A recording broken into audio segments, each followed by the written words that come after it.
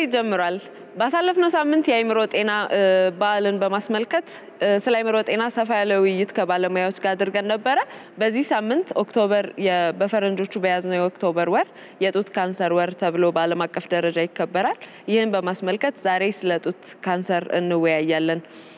እኔ ጋር ይህንን የበለጠ እንዲያስረዷችሁ እንግዶች ይዤላችሁ ቀርብ ያለው ዶክተር ሙሉጌታ ካሳሁን የካንሰር specialist ወይም የካንሰር ቀዶ ጥገና ሐኪም ዛህራ ሁልጊዜም አብራን ስለ ስነ ልቦና ምክሮችን የምትሰጠን ባለሙያ ነች። እንዲሁም አቶ ግሩም ከካንሰር ኬር ኢትዮጵያ መስራችና ዋና ስራ አስኪያጅ አብረውኛሉ።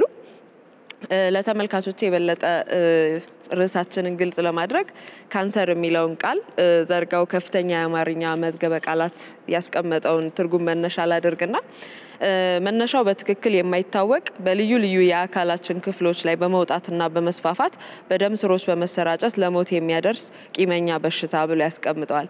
እንግዲህ እንደኔ ከጤና ሙያ ራቅ ላልነው ሰዎች ካንሰርን የምንረዳው በዚህ መልኩ ነው። ወደ ጡት ካንሰር ስንመጣ ደግሞ በኢትዮጵያ ውስጥ ካሉ ሴቶችን ከሚያጠቁ የካንሰር አይነቶች መካከል 34 በመቶ የሚሆነው የጡት ካንሰር ነው። ከዛ በመቀጠል ደግሞ 16 በመቶ የሚሆነውን የሚይዘው cervical cancer ወይም የማህፀን ካንሰር የምንለው ነው።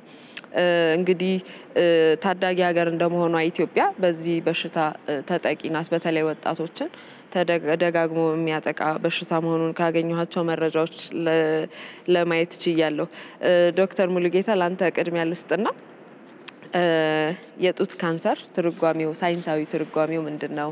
አንድ ሰው አንዲት ሴት በጡት ካንሰር ተይዛለች ለማለት የሚታዩ ምልክቶች ምን ይመስላሉ ከሚለውን ጀምር። እሺ የጡት ካንሰር እንግዲህ ጡት ላይ የሚነሳ ቅድም እንደተባለው ካንሰር ነው። ጡት የሚባለው ያው ፊት ለፊት ያው የጡት ቦታ አለው። እዛ ጋር የሚነሳ ካንሰር እዛው በጡት ዙሪያ ብቻ ሊሰራጭ ይችላል። ወደ ብብት አካባቢም እዛ ሰፈር ላይ የሚሰራጭ ሊሆን ይችላል። ከዛም አልፎ የትኛውም የሰውነታችን ክፍል በተለይ ሳምባ ላይ፣ አጥንት ላይ፣ ወደ ጉበት ሁሉ ሊሄድ የሚችል የካንሰር አይነት ነው። ወደዛ ሊሰራጭ የሚችል ማለት ነው። በዚህ ምክንያት ነው እንግዲህ ህይወት እንዲያልፍ የሚያደርገው። ስለዚህ ይሄ ካንሰር ምልክቶቹ እንግዲህ በየትኛውም እድሜ በብዛት እድሜ በጨመረ ቁጥር የሚከሰት የካንሰር አይነት ነው። ግን በአብዛኛው ከሰላሳ አምስት ዓመት ጀምሮ ሊከሰት ይችላል።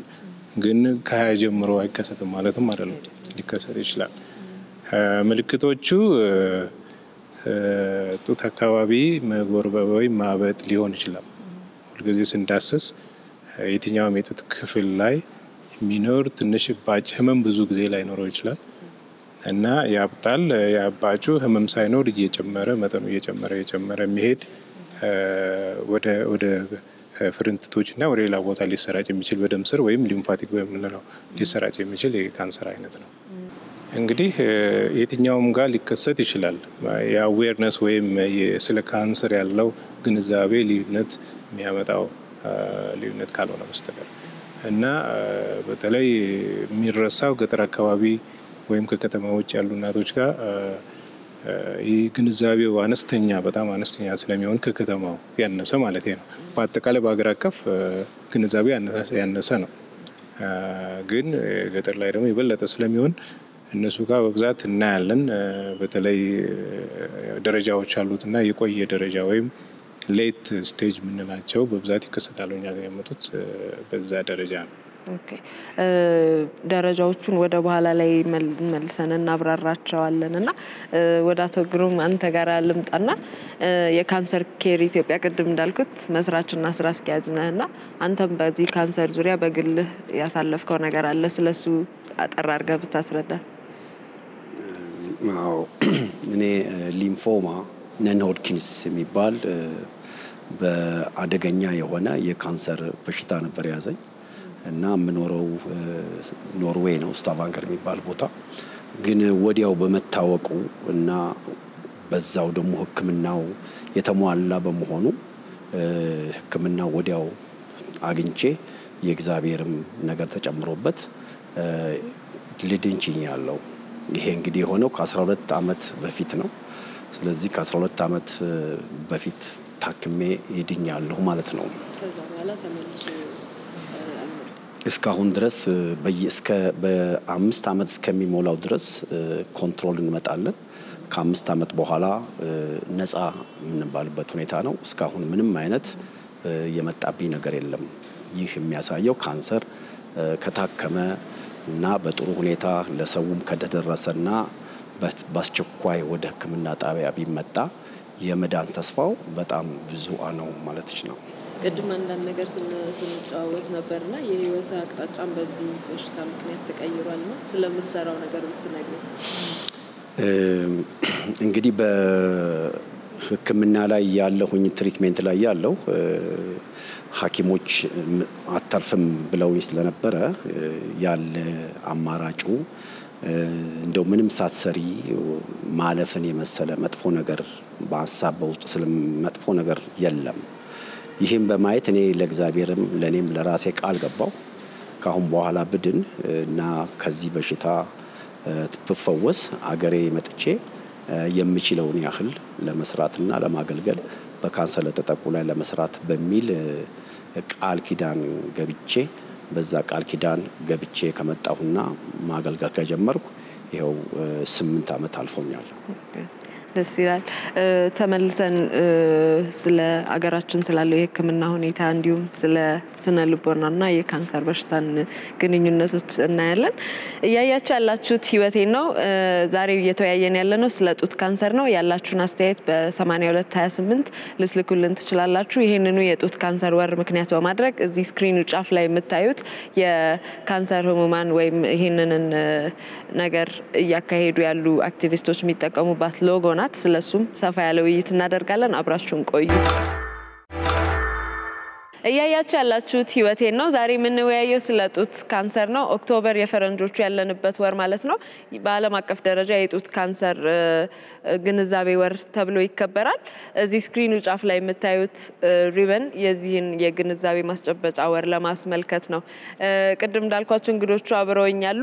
አሁንም ወደ ጥያቄያችን እንመለስና ዶክተር ሙሉጌታ አገራችን የካንሰር የጡት ካንሰርን ለማከም ወይ በአጠቃላይ የካንሰር በሽተኞችን ለማከም የሚያስችል አቅም አለን ወይ? የህክምና አቅም ባለሙያው ምን ያህል ነው? ከበሽተኞቹ ጋር ያው እንግዲህ ቁጥሩ እንደማይደራረስ እገነዘባለሁ።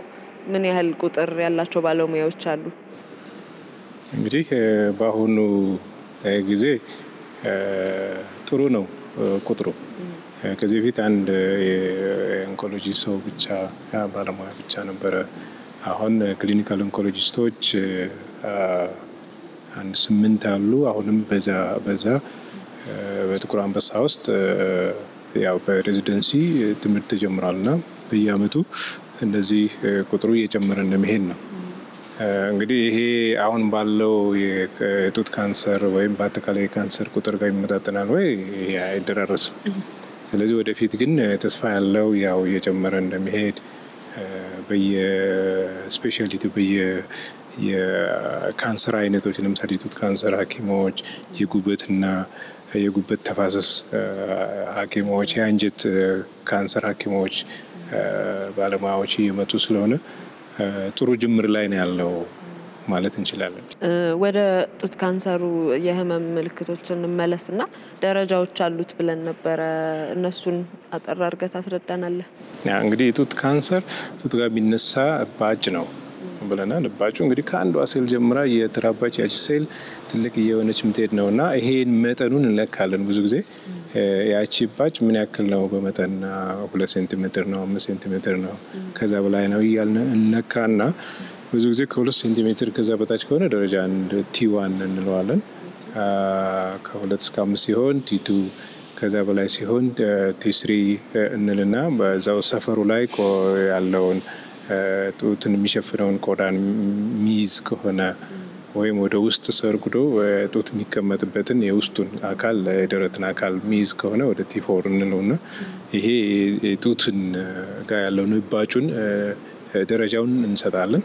ከዚህ በተጨማሪ ፍርንትቶች አሉ ብብት አካባቢ ወደዛ ይሰራጫል። እንግዲህ ጡት ካንሰር መሰራት ሲጀመር በዛ ስለሚሰራጭ እዛ ያሉትን ፍርንትቶችን ይንቀሳቀሳሉ ወይ እዛው የተጣበቁ ናቸው ወይ ብዙ ናቸው ወይ የሚለውም ደረጃውን ይወስንልናል። ስለዚህ lymph node stage የምንለው ነው። ከዚያ ባለፈ metastasis የምንለው ነው። ተሰራጭቷል ወይ በደም ስር ወደ ሌላ የሰውነት አካል ሄዷል ወይ የሚለውን የምናየውን M stage። ስለዚህ TNM stage የሚባለው ነው እና stage one፣ stage two፣ stage three ብለን በዚህ እንከፋፍላለን በመጠኑ እና lymph node ኡን አንድ ላይ አድርገን ወይም ወደ ሌላ የሰውነት አካል ተሰራጭቷል ወይ የሚለውን ደምረን ማለት ነው። ስለዚህ አራት ደረጃዎች ይኖሩታል ማለት ነው የጡት ካንሰር። እንግዲህ አሁን ያው ግንዛቤውም እየመጣ ስለሆነ በየጤና ተቋማት ያሉት የጤና ተቋማት በአጠቃላይ ማለት ነው እና ይሄንን ለማድረግ እየተሞከረ ነው ያለው። እንግዲህ ወጥ የሆነ ምርመራ በየሆስፒታሉ አሉ ለማለት እኔ በግሌ የምናገር ባልችልም፣ ግን ጥሩ ነው ግንዛቤው ያለው የጡት ካንሰርን በተመለከተ በተለይ አንዳንድ ሆስፒታሎች ጋር ማሞግራፊ የሚባላል ምናልባት ዳሰን ማግኘት ማንችለውን የጡት ውስጥ ያለ ገና ትንንሽ የካንሰር ጅማሬዎችን ማወቅ የሚቻል መሳሪያ ነው። ለምሳሌ እሱ እነሱ እነሱን መጠቀም ይቻላል። በትክክሉም እኛ መርምረን በምርመራው መሰረትም ለማግኘት እየተሞከረ ነው። ስለዚህ ይሄ ግንዛቤ ከጤና ባለሙያው ጀምሮ አሁን ጥሩ ነው፣ ግን በጣም ጠንክሮ መሄድ አለበት። ይሄ ግንዛቤ ቶሎ በደረጃው ሳይቆይ ቶሎ በቅድመ ደረጃ ለይተን ቶሎ ማከም እንድንችልና እንዲድኑ ለማድረግ ማለት ነው። አቶ ወደ አንተ ልምጣና ዛህራ የመጨረሻውን ከስነ ልቦና ጋር አያይዛ ትነግረናለች። እናንተ facility ውስጥ ምን ያህል ታካሚዎች አሉ የካንሰር ህሙማን? እኛ ጋር እንግዲህ ያለው አልጋ በአንዴ መቀበል የምንችለው አስራ አምስት ህመምተኞች የካንሰር ህሙማን ናቸው። ከዚህ ውስጥ የህፃናት አለ፣ የሴቶችና የወንዶች የምንለው አለ። እነኚህን ነው እንግዲህ በአሁን በአለን በኪራይ ቤት እስካሁን ድረስ ላለፉት ስምንት ዓመታት እያገለገልን የቆየ ነው። ከክፍያ ነፃ ነው። ይሄ አቅማቸው ለማይፈቅድ ሰዎች እነኚህ የሚመጡት ድሃ የሆኑና ከሚመጡበት ከአዲስ አበባ ውጭ የሆኑ ከክፍለ ሀገር ገቢያቸው በጣም ዝቅተኛ የሆነ ድሃ የሆኑ አስመስክረው ይመጡና ተራው ብዙ ስለሆነ ጥቁር አንበሳ ወይም ደግሞ ሌሎች ሆስፒታሎች የራሱን የቻለ criteria አለ። በዛ መሰረት criteria መሰረት እኛ እየተቀበል የነፃ አገልግሎት እንሰጣለን። ወደ ታማሚዎቹ እንምጣና ዛህራ በቤታችን ውስጥ ቤተ ዘመዶች ሊሆኑ ይችላሉ፣ ጓደኞቻችን ሊሆኑ ይችላሉ። በዚህ ህመም ሲጠቁ በጡት ካንሰር ብቻ ሳይሆን በሌሎች የካንሰር በሽታዎች ሲያዙ ምን አይነት ድጋፍ ልናደርግላቸው እንችላለን? ለነሱ ያለንስ እንክብካቤ ምን መምሰል አለበት? ትልቁ ነገር ወደ ወሬ ያለመሄድ ማለቴ like ብዙ ሚስጥራቸውን መጠበቅ፣ ግን ቦታ መስጠት፣ እንዲወያዩና እንዲያወሩ ማድረግ ካንሰር በኋላ treatment ላይ እያሉ ከዛ በኋላ ደግሞ ወደ remission ሲገቡ ራሱ lifestyle ኣቸውን ህይወታቸውን መቀየር እንዳለባቸው ያ ማለት ሴቶች ላይ ድሮ እናትም ከሆነችም ስራም ካላት ብዙ የማህበረስ እንትን ስራ ካለባት እንደሆነ እሱን እንዲቀንስ ማድረግ። ተመልሰን ስንመጣ በዚሁ ዙሪያ ውይይታችን እንቀጥላለን። አስተያየታችሁን በ8228 እንዲሁም በፌስቡክ ገጻችን ላኩልን። እያያችሁ ያላችሁት ህይወቴን ነው። የዛሬው ርዕሳችን የጡት ካንሰር ነው። የያዝነው የፈረንጆቹ ኦክቶበር ወር የጡት ካንሰር ግንዛቤ ማስጨበጫ ወር ነው። ቅድም ዶክተር ሙሉጌታ ጀምረ ነው ነበረ ስለ ሕክምናው እዚህ ሀገር በበቂ ሁኔታ አለመሰጠት ማለት ነው። ይሄ እንግዲህ ወደ ሰውን ወደ ምን ወስዶታል? ውጭ ሀገር ሄዶ ብዙ ገንዘቦችን ብዙ ገንዘብ አውጥቶ ውጭ ሀገር ለመታከም ተዳርጓል እና ይሄ ነገር እንዴት መቀረፍ የሚችል ነው? ወይ ደግሞ ሄደው እዛ ድረስ መታከማቸው አስፈላጊ የሆነው ቅድም እንዳልከኝ በቅድሚያ ጥንቃቄውን አለማድረግ ወይ ደግሞ ቶሎ አለመመርመር፣ በየጊዜው checkup ኦችን አለማድረግ ይመስለኛል። እስቲ ስለዚህ ነገር ትንሽ ብንወያይ። እንግዲህ ዋናው ነገር የጡት በአጠቃላይ ስለ ካንሰር ግንዛቤው ነው። ካንሰር መዳን የሚችል በሽታ ነው። ያ ብዙ የዳኑትም እንዳሉ አቶ ግርሞም እንደ ምሳሌ እዚህ እንደቀረቡ ማለት ነው። ይሄን ስለምናይ ግንዛቤው ካለ ቶሎ ካንሰርን መጀመሪያዎቹ ደረጃዎቹ ጋር መለየት ነው። እዛ ከተለየ ሙሉ በሙሉ መዳን ይቻላል። ሙሉ ሙሉ መዳን የሚቻልበት ሕክምና እኛ ጋር አለ። ኦፕሬሽንም ይደረጋል፣ ኬሞቴራፒውም ይሰጣል። probably አንድ ቦታ ብቻ ስለሆነ radiation therapy ወረፋው ካልሆነ እሱም ስለሚሰጥ መዳን ይቻላል። ችግሩ ግንዛቤውም የለም። አንዳንዴ በሽታው ተነግሯቸውም ያንን ደብቀው ወደ ቤት ይዘው የሚሄዱ ይኖራሉ። አንድንም የሚል ተስፋ መቁረጥ አይነት ስላለ ይሄንን አስወግደን ቶሎ ወደ ሕክምና ተቋም በመምጣት ባለው እኛ ጋር ባለው መታከም እንደሚቻል ነው። በአሁኑ ባለው የሀገራችን የሕክምና በተለይ እዚህ ጋር ያለው የሕክምና አሰጣጥ እሱ ብቻ ሳይሆን አሁን በጣም እየተስፋፋ ነው። እንግዲህ oncology center በየቦታው እንዲቋቋም እየተደረገ ነው ያለው። ድሮ ጥቁር አንበሳ ብቻ ነበር። አሁን ከአዲስ አበባ ውጭም ተጀምሯል ኬሞቴራፒ በተለይ። ስለዚህ የትም መታከም ይቻላል። እንግዲህ ጥራቱን እያሻሻልን የምንሄድ ቢሆንም ጥራቶቹ እንደየንትኑ ባለሙያው በቂ ላይሆን ይችላል። ግን ጥራቱን እያሻሻልን እዚሁ ማከም የሚቻልበት ደረጃ ላይ እየደረስን ያለን ይመስለኛል። በተለይ ጡት ካንሰርን በተመለከተ አቶ ግሩም ወደ አንተ ልምጣና የህክምና አሰጣጡ አቅማችንን ከፍ ለማድረግ ምን ብናደርግ ይበጀናል ትላለህ? የህክምና አሰጣጡን ከፍ ለማድረግ የህዝቡ መንግስትን ብቻ ላይ ጥሎ ህዝብን መተባበር አለበት ብዬ ነው የምገምተው። አሁን ለምሳሌ ያህል ህክምናውን ወደ ውጭ እንዳይሄዱ ለማድረግ ካፓሲቲያችን እዚህ ብንጨምር ህክምናውን አሁን ዶክተር ሙልጌታ እንዳለው የስፔሻሊስቶቹም እየተጨመሩ ነው እና መንግስትም ትኩረት እየሰጠው ነው እና ህዝቡም ደግሞ ከመንግስት ጋር ብቻ ሳይጠብቅ ህዝቡም እንዲተባበር በዚህ ሰዓት ትብብር ቢያደርግ ብዬ ሰውን ሀሳብ ሰጣለሁኝ። ዛህራ ወደ አንቺ ልምጣና የስነ ልቦና እርዳታ ማግኘት ለሚፈልጉ ሰዎች በተለይ በዚህ በሽታ ዘመድ ወዳጆቻቸውን ላጡ ምን ትመክሪያለሽ? በየቦታው በጤና ጣቢያ በኩልም በተለያየ ቦታ ላይ ካውንስለሮች አሉ።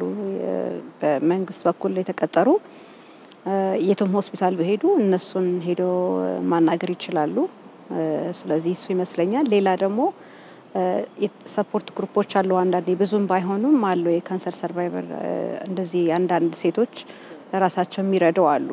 ከእነሱ ጋር connect ማድረግ ቢችሉ ጥሩ ነው።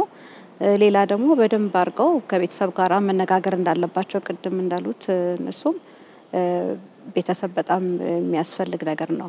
የመጨረሻውን ጥያቄ ዶክተር ሙልጌታ ላንተ ላድርግና ቅድመ ጥንቃቄ ለመውሰድ ያህል አሁን አብዛኛው ተመልካች ጥያቄው የሚሆነው እኔ በዚህ በሽታ እንዳልጠቃ ምን ላድርግ ወይ በእለት ተዕለት ህይወቴ ምን አይነት ለውጥ ላምጣ የሚለው ይሆናልና እስቲ ምን ምክር ትሰጠናለህ? እንግዲህ ጡት ካንሰር ብዙ የሚታወቅ ባይሆንም በአብዛኛው risk factors የምንላቸው ምክንያቶች ይሆናሉ ተብለው የሚገመቱ የሚታወቁ ነገሮች አሉ። ከዛ አንዱ ለምሳሌ እንቅስቃሴ ማድረግ ሊሆን ይችላል። አካል ብቃት እንቅስቃሴ እንዲያው በሳምንት ሶስት አራት ቀን መንቀሳቀስ እና ሰውነትን ማብቃት ጥሩ ነው። ይሄ ከማያበቁት ጋር ሲወዳደር የበለጠ የመከላከል አቅም እንዳለው የተረጋገጠ ስለሆነ አልኮል አለመውሰድም እንደዛው risk ኡን ይቀንሰዋል። አለማጨስ እንደዚሁ ይቀንሰዋል። ሌሎች ሆርሞኖች ጋር የተያያዙ ነገሮች ናቸው። ለምሳሌ ቀድሞ መውለድ እና late መውለድ ልዩነት አለው። ሁለቱም ጋር ሲወዳደር ከሰላሳ አምስት ዓመት በኋላ መውለድ እና ሀያ ዓመት ጋር የወለደችው ልዩነት አለው። የካንሰር risk ኡ የበለጠ ይሆናል ከሰላሳ አምስት ዓመት በኋላ የሚወልዱት ጋር የወር አበባ እንግዲህ ቀድሞ የሚያዩ ይኖራሉ፣ late የሚያዩ ይኖራሉ። ይሄን እንግዲህ ብዙም prevent የማናደርገው ስለሆነ እሱ ጋር ብዙ እንደ risk factor ግን ይቆጠራል። ቀድሞ የወር አበባ ለምሳሌ በአስራ ሁለት ዓመት የሚያዩት እና late አስራ ስድስት አስራ ሰባት በኋላ የሚያዩት ልዩነት አለው። የወር አበባ ሲሄድም ወይም የመጨረሻ ሲያቆም እንደዚህ ልዩነት አለው። በጣም extended ሲሆን ሆርሞኑ እዛ ጡት ላይ ለብዙ ጊዜ act ስለሚያደርግ ወደ ካንሰር develop ማድረግ እንትኑ high ነው የሚሆነው። በአጠቃላይ እንግዲህ እነዚህን እንቅስቃሴዎችን ማድረግ ቶሎ ምልክቶች በቤተሰብ ምንም አንዳንዴ ሊኖር ይችላል እና እንደዚህ history ያላቸው በቤተሰብ እንደዚህ የጡት ካንሰር ምን ያለባቸው ምኖች በተለይ እነሱ ጋር የመያዝ እጣ ሊኖር ስለሚችል ግንዛቤ ወስደው ጡታቸውን regularly በወር ሊሆን ይችላል። በተለይ ጡታቸውን መዳሰስ አለባቸው። ራሳቸው ሊሆን ይችላል ቤታቸው ጋር በደንብ መፈተሽ አለባቸው። እንዲያው የተለየ ነገር ሲያገኙ ወደ ጤና ተቋም መምጣት ካልሆነም ጤና ተቋም ጋር እየሄዱ በተለይ እነዚህ ምክንያቶች ያሏቸው ሰዎች ወደ ጤና ተቋም እየመጡ ቢያንስ መመርመር አለባቸው። በዓመት አንድ እንኳ ቢያደርጉ ጥሩ ነው የሚሆነው። ተጨማሪውን እንግዲህ የጤና ባለሙያ የሚያስፈልገውን screening ሊያደርግ ይችላል። በ mammography ተደግፎ ሊሆን ይችላል። ሌላም ሌላም ምርመራ ካስፈለገ እሱን ማድረግ ይቻላል እና እነዚህን እናርግ ነው። በጣም አመሰግናለሁ ሁላችሁንም። እያያችሁ ያላችሁት ህይወቴን ነው። የዛሬው ርዕሳችን የጡት ካንሰር ህመም ነው። ተመልሰን ስንመጣ የጡት ካንሰር ተጠቂ ሆና ከዚህ በሽታ ድና ወደ መደበኛ የስራ ህይወቷ የተመለሰችን እንግዳ እናገኛለን። ሁላችንም ይሄ ነገር በቤታችን ሊከሰት የሚችል ችግር ነው፣ መዳን ይቻላል። ግንዛቤውን መፍጠርና የማያውቁ ወገኖቻችንን የማስተማር ግዴታ አለብን። ተመልሰን እንገናኛለን። ሰላም ሲስተር ይርገዱ፣ ለ interview ተስማምተው ስለመጡ በጣም እናመሰግናለን። ዛሬ ርዕሳችን የጡት ካንሰር ነው እና ከዚህ ጋር ህመም ጋር በተገናኘ የህይወት ልምዶትን እንዲያካፍሉን ነበረ። ሲስተር ይርገዱ ሀብቱ እባላለሁኝ። በሁለት ሺ ሶስት የጡት ካንሰር ታማሚ ነበርኩ። አሁን ስምንተኛ አመቴ እየመጣ ነው። ደህና ነኝ፣ እግዚአብሔር ይመስገን። እንግዲህ cancer survival ይባላል በሕክምና ካንሰር ስሙ ሲሰማ ራሱ ብዙ ሰዎች ይፈሩታል። በሽታዎችን ስንሰማ ከፈራናቸው ራሳችንን ካስጨነቅን more በሽታው ይጨምራል። እኔ ግን ውስጤ አምኖ ተቀብሎታል። ይኸው ደህና ነኝ። ሌላ ስራም ተጨማሪ ስራ እየሰራሁ ነው። አምስት አመት ሲያልፈው ነው ተመልሶ መምጣት አለመምጣቱ የሚታወቀው እና በየስንት ጊዜው ምርመራ ድጋሚ ያደርጋሉ? እኔ እስካሁን ድረስ መጀመሪያ አምስት አመት የሚወሰድ መድኃኒት አለ። አምስቱን አመት መድኃኒት እስክጨርስ ድረስ በየሶስት ወሩ፣ በየአራት ወሩ፣ በየስድስት ወሩ ነበረኝ ክትትል። እምልሽ ያው ስጋ ለባሽ መፍራቱ አይቀርም። ካንሰር የሚባለው ስም በዓለም ላይም ያስፈራል እና ከዛን ጊዜ ጀምሮ ፍርሃቱ ቢኖረኝም እንኳን እኔ ግን እሱን ቁጭ ብዬ አላዳምጥም። በሽታን እንዳቀባበላችን ነው። እግዚአብሔር የፈቀደውን ነው የምንኖረው። ሞት ደግሞ ለማንም ሰው ስለማይቀር አምስት አመት ድረስ ፍርሃቱ ነበረኝ። ከአምስት አመት በኋላ እየቀነሰልኝ እየቀነሰልኝ መጣ። ሰዎች ከኔ እንዲማሩ ፈልጋለሁ። ብዙ ሰዎች ካንሰር ሲባሉ ራሳቸውን ያጠፉ ሰዎች አውቃለሁ፣ ሳይታከሙ ማለት ነው። ግን ሕክምናን ማድረግ በጊዜ መከታተል በጣም ጥሩ ነው። ማንም የኢትዮጵያ ሕዝብ በእኔ እንዲማር ፈልጋለሁኝ እኔ አካላዊ ለውጦች ይመጣሉ። በተለይ ካንሰሩን ለማውጣት ሲባል ይሄ ነገር እንዴት ነው በህይወቶት ላይ ያመጣው ለውጥ አለ? በጣም አለ። ያው ስጀመር ከ surgery በኋላ ኬሞቴራፒ የሚባል አለ። chemo ስወስድ ሰባት ወር አልጋ ላይ ነበርኩ። መነሳትም መስራትም አልችልም ነበር። chemo ውን ከጨረስኩ በኋላ ደግሞ እንደገና radiotherapy የሚባል አለ፣ ወይ ጨረር ይባላል። ጨረሩንም ስወስድ በጣም ደካማ ነበርኩ። በዚህ ላይ ስኳር ህመምተኛ ነኝ። እሱ ተደራርበው ያው በእግዚአብሔር ተአምር እሱ ካለቀ በኋላ ግን ሂል እያረኩ መጣው። ደህና እየሆንኩ እየተሻለኝ እየተሻለኝ ስራዬም ገባው። ደህና እየሆንኩ አሁን ብዙ ሰዎች ስነግራቸው እውነት አይመስላቸው። በጣም የሚገርም ታሪክ። ደህና ነኝ። ያለኝን ቀሪ ዘመኔን ደግሞ ጥሩ ነገር ሰርቼ መኖር አለብኝ ነው እንጂ ስለ በሽታ አላስብም።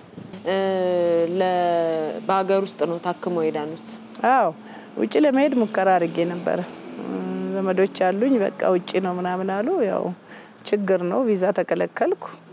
ከዛ በኋላ እኔ ምንም አላልኩም። ከእግዚአብሔር ጋር ነው በቃ እንትን ያልኩትና የደሃ አምላኬ አብረኸኝ ግባ ብዬ ጥቁር አንበሳ ገባሁ እና ያው የካንሰር ህመም ዓለም አቀፍ ተመሳሳይነት አለው ሕክምናው ህመሙ። ስለዚህ እኔ ጥቁር አንበሳ ነው የታከምኩት። ጳውሎስ ነው የምሰራው። ጳውሎስ ልስራልሽ ብሎኝ ነበር ሐኪሜ ብዙ አመት የሰራሁበት ቤት ስለሆነ ስታፉ ያስለቅሰኛል አይዞች ሲለኝ ምናምን ብዬ ወደ ጥቁር አንበሳ ሄድኩ እዛ ተሰራልኝ ይኸዋለሁ። በጣም ደስ ይላል። በመጨረሻ ማስተላለፍ የሚፈልጉት መልእክት ካለ በዚህ ህመም ለተያዙ ወይ የታመመ ዘመድ ወዳጅ ላላቸው ምን መልእክት ያስተላልፋሉ? አዎ እኔ ምንድን ነው የማስተላልፈው፣ ብዙ ሰዎች በጡትና በማህፀን ካንሰር ይሞታሉ እየደበቁ። እኛ ኢትዮጵያውያን በአብዛኛው ድብቆች ነን። ህመሞቻችንን መናገር ለሰው መንገር እኔ እንጃ ብዙ ሰው አይፈልግም። እኔ ራሴ ከራሴ ጀምሮ ለምን እንደዚህ ትያለሽ፣ ለምን ያስፈልጋል መናገር የሚሉኝ ብዙ ሰዎች አሉ። እኔ ግን ሰዎች ይማሩበት። ምንድን ነው አንዳንድ ጊዜ በተለያዩ በእምነቶቻችን እናምናለን። እምነት ጥሩ ነው። spiritual support ለማንም ሰው ያስፈልጋል። ግን ከእምነታችን ጋር ሕክምናችንን መውሰድ አለብን። ሕክምናችንን መታከም አለብን። እኔ የሞቱ ዘመዶች አሉኝ፣ የታመሙ ዘመዶች አሉኝ። ምንድን ነው የምለው እምነቱ እንዳለ ይሁን፣ ሕክምናን ግን የኢትዮጵያ ሕዝብ መከታተል አለበት። ጥቅም አለው። እግዚአብሔር የሰጠው ጥበብ ነው። መታከም አለብን ብዬ አስባለሁ። ሞት አይቀርም ታከምኩም አልታከምኩም የሚሉ ሰዎች አሉ። ግን ሳይታከሙ መሞትና ታክመው መሞት አንድ አይመስለኝም። እኔ መረዳት አለብን። በህክምና ሳይንስ ነው።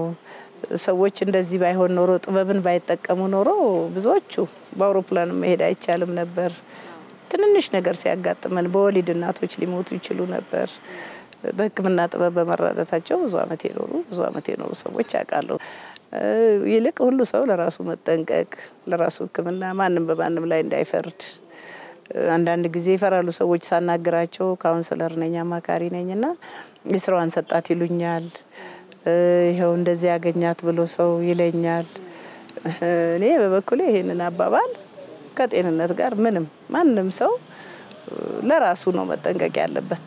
አንድ ሐኪም ሲናገር ካንሰር እንዳይዘን ምን እናርግ ሲሉት አስታውሳለሁ። አለመወለድ ነው ያለ ሐኪም አለ። አለመወለድ ነው እንግዲህ ይህን ይህን ተጠንቀቋል ስለ ምግብ ስለተለያየ ጥንቃቄ ካወራ በኋላ ሌላው አለመወለድ ነው አለ። ምክንያቱም ማንም ስጋ ለባሽ ሊያጋጥመው ይችላል። ወይ በኃጢአታችን ወይ በመጥፎ ስራችን ምናምን አድርገው እንዲህ እንዲህ አይነት ግንዛቤ ያለው ሰው ስላለ ፍርሃት አለው ሰው ለመናገር ማለት ነው። ግን እኔ ምንም አልፈራም። በቃ ምንም ስለ ህመሜም አልፈራምም አላስበውም። መኖር የቻልኩትን ያህል እግዚአብሔር የፈቀደውን እኖራለሁ። መሄድ ደግሞ ለማንም አይቀርም። ይሄንን ብሎ ለኢትዮጵያ ሕዝብ የማስተላልፈው በጊዜ መታከም፣ በጊዜ ከጤና ባለሙያ ጋር መነጋገር፣ ምን መደረግ እንዳለበት ማንኛውም አይነት ስሜት ሲኖረን ሕክምና ይጠቅማል። እንዲታከሙ በጣም በጣም እንደው ለኢትዮጵያ ሕዝብ በሙሉ አሳስባለሁኝ። ነውር አይደለም፣ በኃጢአት የሚመጣ አይደለም። በተለያየ ነገር ሊያጋጥመን ይችላል ካንሰር። ስለዚህ ፍጡር ለሆነ ሰው ለማን ነው ሊያጋጥም ስለሚችል ወደ ህክምና መሄድና በጊዜ ክትትሉን መውሰድ ከካንሰር ጋር መኖር ይቻላል። ከስኳር ጋር መኖር እንደሚቻል፣ ከኤች አይቪ ጋር መኖር እንደሚቻል ልክ እንደዚሁ ከስኳርም ጋራ ከካንሰርም ጋር ከደም ግፊትም ጋር ከኤች አይቪም ጋር በጊዜ ከታከመ ሰው መኖር ይችላል የሚለውን ነገር አስተላልፋለሁ። በጣም እናመሰግናለን ሲስተር ይርጋሉ። አመሰግናለሁ። በስራዎት በህይወቶትም መልካም ነገር እንዲያጋጥሙት ምኞታችን ነው። በጣም እግዚአብሔር ይስጥልን። አመሰግናለሁ እኔ